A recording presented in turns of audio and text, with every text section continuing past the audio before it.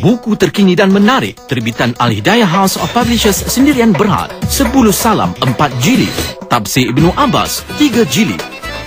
Membaca buku-buku Al Hidayah anda selangkah mendekati Allah.